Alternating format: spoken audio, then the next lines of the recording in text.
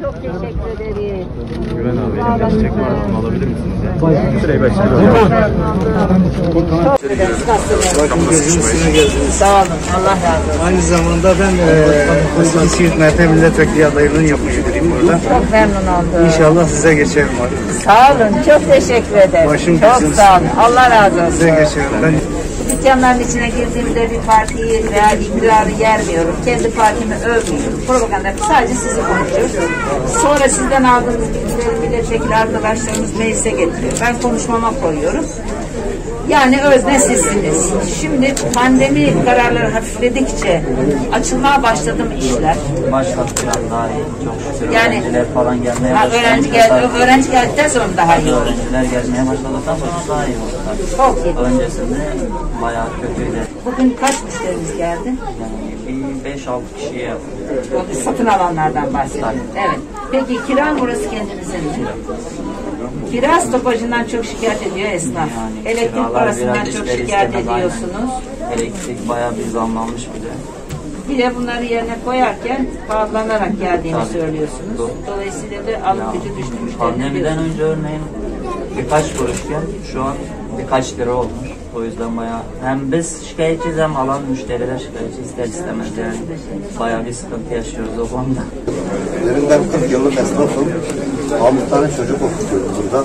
Sadece gelirim burası. 6 tane çocuğum burada. Yani bizim e, sesimiz olursanız Onun için çok buradayız. makbule geçer. İşler E, de- nasıl? hoş, çok şükür. Vallahi kazanımız kaynıyor. Ne yapalım yani? Çok şükür. Buna da şükür. Okutabiliyor musunuz artık burayı? Vallahi yani biraz zorlanıyorum yani şimdi söylesem dört dörtlük okutabiliyorum veya dört dörtlük şey yapabiliyorum. Gelecek sene inşallah emekli olacağım. Ama 1500 lira, 1500 lira, alın, 1500 lira maaşla siz de geçinebilir miyim? Şimdi ben 22 aydır esnaf geziyorum ilçelerde, şehirlerde. Bu dükkanların içerisinde iktidarı veya bir başka parti yermiyorum. Kendi partimi övmüyorum. Propaganda yapmıyorum. Sonra oylarınıza talip edildi. O ayrı. Burada sadece siz öznesiniz. Sizin sesiniz olmaya gayret ediyoruz. Sizin anlattıklarınızı arkadaşlarımız kamuoyuna, ben ve arkadaşlarım kamuoyuna mal ediyoruz. Buraya dikkat çekiyoruz. Yani esnafa dikkat çekiyoruz. Dolayısıyla bu çerçeve içinde soruyorum. İşleriniz nasıl? Valla şimdi işlerimiz ekonomiye bakıldığı zaman zaten kendini aşikar ediyor. Biliyorsunuz bir ülkenin ekonomisi de sağlam olmadığı zaman geleceği de sağlam olmuyor, parlak olmuyor. İnşallah yani sizden sayenizde daha güzel günler göreceğiz. Bir de esnaf sanki boşa kürek sallıyor gibi. Yani gününü kurtarmaya çalışıyor. Yani artık esnaflıkta da bir birikim falan dönemi de bitti.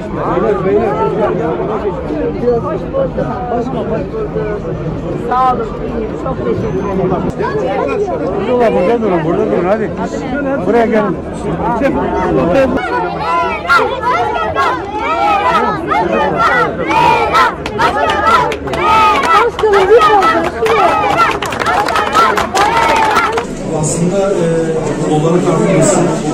Bir de üretim de yok. Üretim de olmadığı için ister istemez alım gücü de azaldı. Yani şu an domatesin kilosu 8 TL. Yani şu an e, eskiden insanlar kilo kilo kasa kasa alırdı. Şimdi alamıyor.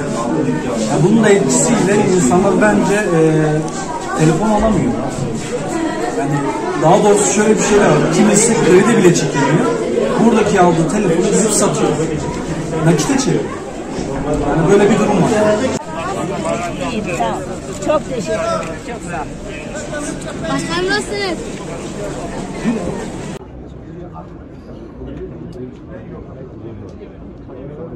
Sayın, Sayın Başbakan diyelim, hoş geldiniz. Ya abla da sen Hoş geldiniz. Abla olsun. Nasılsınız, iyisiniz? Olur olmaz çünkü kul kurar kader güler. Sayın Başkanım hoş geldiniz. Hoş bulduk. Sayın Başkanım hoş geldiniz. Hoş bulduk. Hoş bulduk. Nasılsınız, iyi misiniz? Ben iyiyim. Şimdi sizin işler nasıl? Ee, Sayın Başkan şöyle diyelim yani Türkiye geneline baktığımız zaman benim işim iyi olduktan sonra komşumun işi olmasa boştur. Evet doğru. Siz zaten bunu siyaseten dile getiriyorsunuz. Sayın Cumhurbaşkanı Vekilimiz dile getiriyor. Biz sizden tek ricamız sa- sadece şu anda bulunduğunuz ittifaklarla beraber yürümenizi istiyoruz. Bu birinci şartımız sizden. Çünkü biz de Demokrasi İttifakı olarak Ankara'da, İstanbul'da, İzmir'de beraberiz. Emin olun beraberiz. Her ne kadar olmasa da beraberiz. Yani biz gönlümüzü size kaptırıyoruz. Yani bu AKP, MHP e, hükümetine karşı biz sizinleyiz. Ya ekonomiyi zaten yani ne söyleyebilirim ki zaten ortadadır. Ben ve üç tane evladım buraya bakıyoruz. Kısmetse bir ay sonra evladımı evlendireceğim. Tamamen faiz lobisi altında oğlumu evlendiriyorum. Bir esnaf nasıl olabilir? Emin olun ki 174 milyar banka kredisi çekmiş. Ve benim ve benim oğluma gidecek para 300 milyar. Evi ayrı ya. Ya ben şu anda bir esnafım. Yani bak sadece şunu dile getirdim. Yani bir hesap edin. Yani şu anda benim gibiler gerçekten zor durumda. Siz ne Ben edebiyat öğretmeniyim. Atamaya Ama atanamıyorlar. 24'ünde 82 puan aldım mülakattan elediler. 82 puanı mülakattan elediler. Yani bu ülke, yani bugün biri haca bile giderse torpille gidiyor. Yani artık öyle yani bir arkanda olmadığı sürece hiçbir yere mümkün yani mümkün değil. Yani bu sistemin içinde görüyoruz yani. Bugün bir en basitinden küçük bir e, öğretmen dahi alıyorlar. Seni seni ilçe binasına yönlendiriyorlar. Ben eğitimciyim. Benim ilçe siyasi partinin binasında ne işim var? 19 2019'da arkadaş 515 TL benden almış. Ben bunun boğazını mı?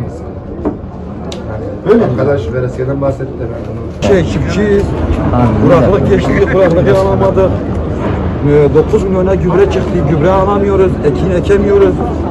Yani bu ne olacak halimiz? Yani çiftçi adamım yani borcumu ödeyemiyorum.